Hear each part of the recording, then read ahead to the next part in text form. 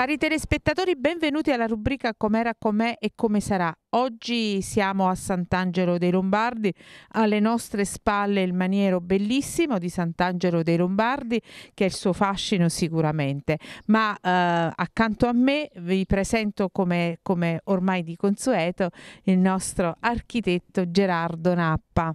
Buongiorno a tutti dal castello degli Imperiale di Sant'Angelo dei Lombardi. Eh, ci troviamo davanti al portale eh, rinascimentale eh, dell'ingresso del castello eh, di epoca longobarda, eh, realizzato probabilmente alla seconda metà del IX secolo d.C., come un po' tutti i manieri di questa zona eh, appunto porta il nome dei Lombardi, quindi di epoca longobarda e mh, insieme voglio dire al, al, complesso di Guardia Lombardi, di Torella dei Lombardi, e, mh, di Mondicchio dei Lombardi, insomma ci troviamo in un'area eh, geografica che mh, fa parte diciamo così del Principato di Salerno perché dopo la divisione del Ducato di Benevento eh, che è avvenuto tra l'848 e l'849 eh, ci fu um, diciamo, questa divisione e quindi Sant'Angelo dei Lombardi passò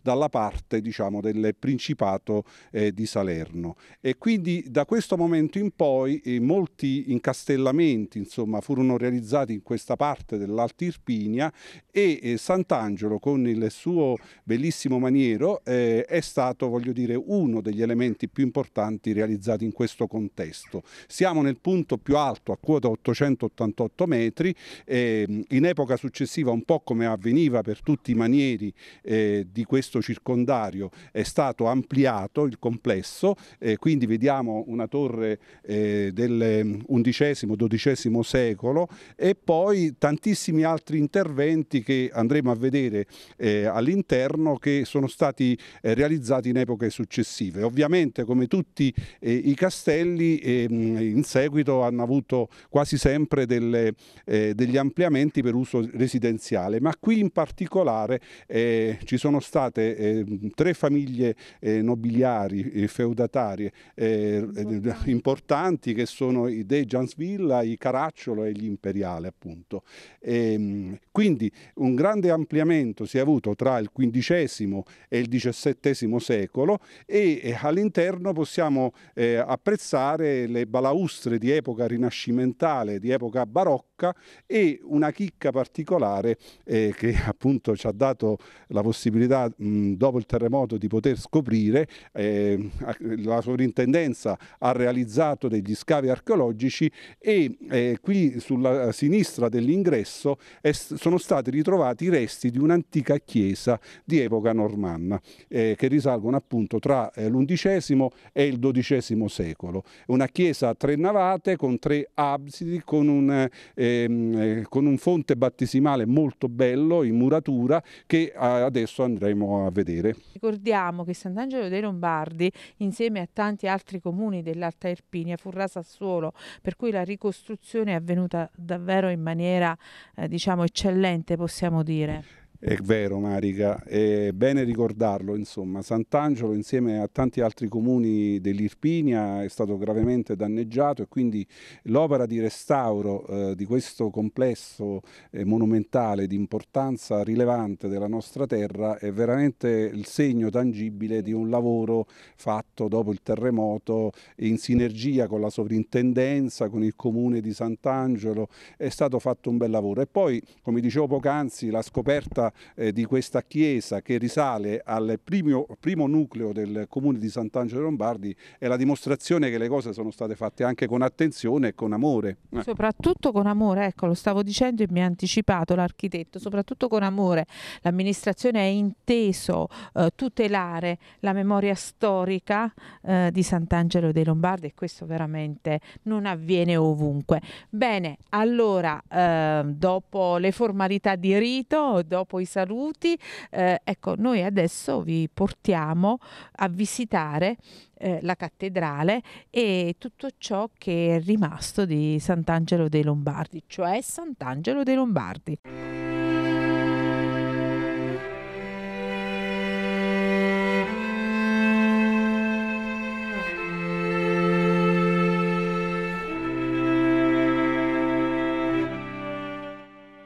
Il castello di Sant'Angelo dei Lombardi è un luogo di storia che fa parte delle 78 rocche, fortezze e castelli di epoca longobarda, normanna o risalenti ad altri periodi presenti sul territorio irpino.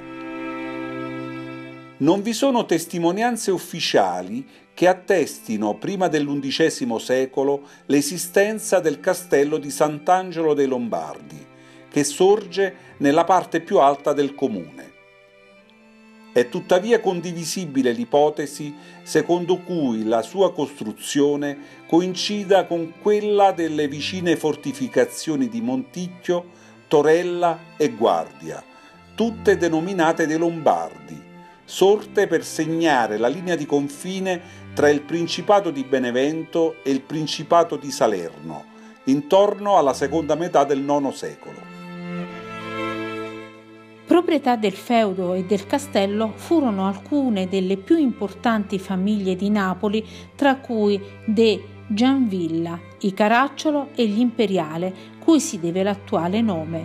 Forse già distrutto nel X secolo, il castello presenta una forma quadrilatera con molti elementi ascrivibili all'epoca normanna, periodo in cui fu dotato anche delle mura di cinta e di un ampio cortile centrale.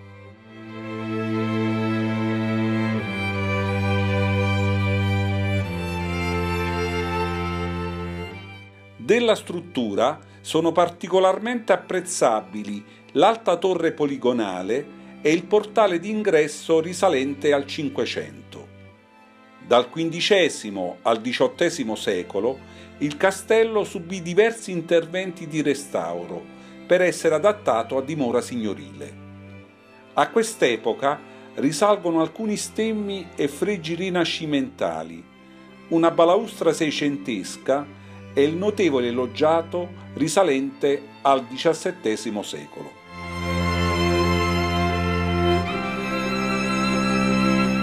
Nel corso dei lavori di restauro successivi al sisma del 1980 è stata riportata alla luce una chiesa di epoca normanna, le cui origini si fanno risalire tra l'undicesimo e il dodicesimo secolo. L'impianto architettonico è a tre navate, con tre absidi ed è orientata secondo la tradizione che pone l'altare ad oriente e l'ingresso ad occidente. L'impianto architettonico è determinato da spazi geometricamente ben definiti.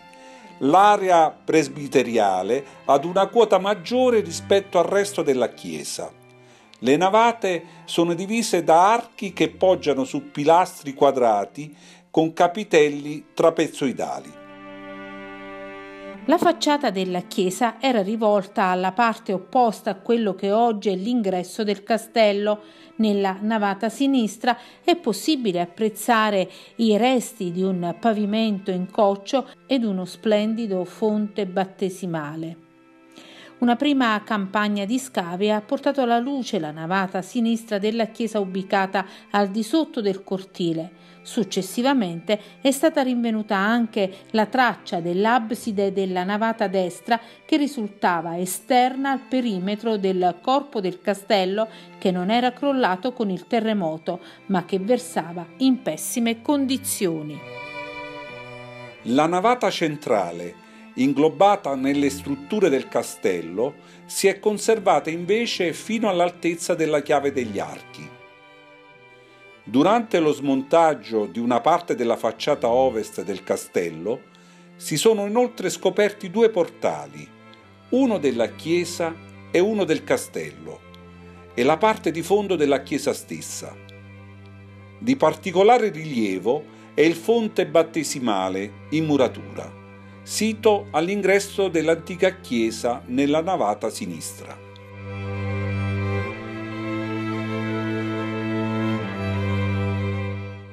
Il castello di Sant'Angelo dei Lombardi si è in questi decenni ricomposto con nitida evidenza e offre ai visitatori una pagina forse insospettabile della storia irpina, medievale e moderna. Prima del terremoto del 1980 si sviluppava intorno ad un cortile trapezoidale, con tre archi a tutto sesto, dai quali si accedeva agli ambienti del primo livello. L'impianto tipologico era il risultato delle numerose e frequenti trasformazioni succedutesi nel tempo sull'antica residenza dei Caracciolo del Sole, poi degli Imperiale. Erano riconoscibili un loggiato, una scala con balaustra scolpita e la cavallerizza risalenti al XVI secolo. Una lapide posta a sinistra del portale d'ingresso, andata distrutta con il crollo della parte centrale del lato meridionale del castello, ricordava i lavori di ampliamento e trasformazione risalenti al XVIII secolo. Dal 1862 il fortilizio fu destinato a carcere e tribunale, funzione che conservò fino al sisma del 1980 quando crollarono il piano superiore, il corpo di fabbrica sul lato est e parte del lato meridionale. Tra il 1987 ed il 1992 sono state realizzate opere mirate a garantire la sicurezza e la conservazione del sito, nonché la conoscenza approfondita e completa dell'intero organismo strutturale e delle preesistenze di interesse storico-artistico, architettonico ed archeologico. In particolare, dalle indagini archeologiche dirette da Marcello Rotili sono emerse nelle immediate adiacenze del donjon la grande torre attrezzata per la difesa costruita nel punto più alto del colle, quota 888 metri sul livello del mare, le strutture dell'antica cattedrale di Sant'Angelo dei Lombardi, XI secolo. Completamente inglobate nell'ala sud-ovest del castello, quasi del tutto crollata, e altri elementi presenti sotto il piano di calpestio del cortile.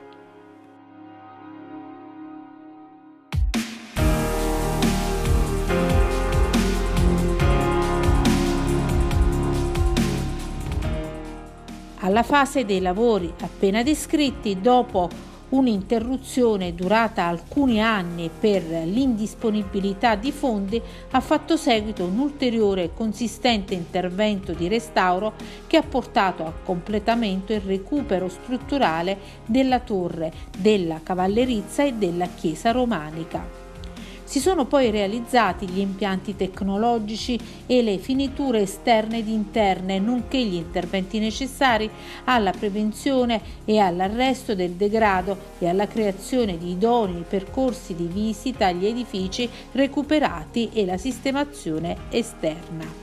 L'indagine stratigrafica ha restituito in termini di resti della cultura materiale una rilevante quantità di reperti, soprattutto ceramici, nonché oggetti in metallo, vetro, osso, pietra, terracotta, laterizi, tegole, monete, intonaci e reperti antropici.